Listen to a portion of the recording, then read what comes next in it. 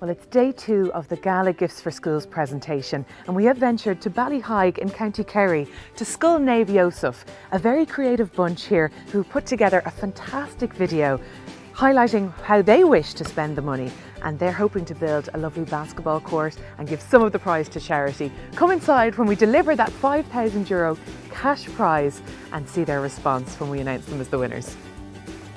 Hi everybody, you are the winners Scoil Naomh Iosef of 5,000 euro. Congratulations!